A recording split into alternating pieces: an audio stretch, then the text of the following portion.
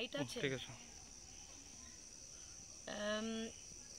ইতিমধ্যে ফ্লাওয়ার মিলের বাইরে যে দুর্ঘটনাটা হয়েছে এবং দুইজন মারা গেছেন এবং অনেকজন হসপিটালে ছিলেন তাদের পরিবারের সঙ্গে দেখা করে দুঃখ প্রকাশ করার জন্য আমি এসেছিলাম। এবং আমি মনে করি মৃত্যুর রাজনীতিকরণ করাটা ঠিক না।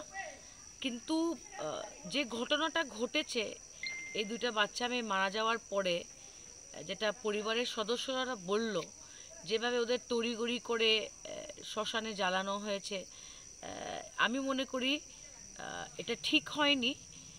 আর এসপিকে বলতে চাই, যেটা কি রহস্য, যে এত স্পিডে গাড়ি এসে ছুটে এসে এরকম মানুষের উপরে উঠিয়ে দিল।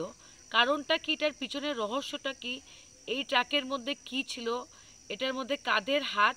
আমি না সমস্ত কাছারবাসী আজকে প্রশ্ন করছে এবং এটার তদন্ত হওয়া উচিত। অ্যান্ড অ্যাকর্ডিং টু মি যে এই জিনিসটা এই পর্যায়ে চলে গেছে, এটাতে সিআইডি লাগানো উচিত যে এই গাড়িটা ছুটে কেন আসছিল আর কি কারণ ছিল এটার পিছনে কি রহস্য।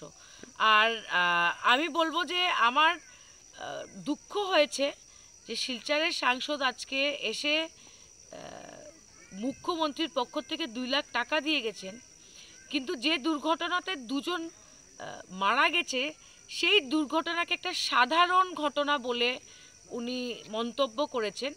এটা ওনাকে মানায়নি, কারণ যাদের সন্তান খুইয়েছে যার বোন হারিয়েছে, তাদের জন্য এটা কোনো সাধারণ ঘটনা না। কারণ দেখেন, টাকা পয়সা বড় ব্যাপার না। কিন্তু একটা এত বড় ক্ষতিকে ব্যক্তিগত ক্ষেত- যাদের হয়েছে তাদেরকে বলা একটা সাধারণ ঘটনা। এটা একজন সাংসদকে মানায়নি।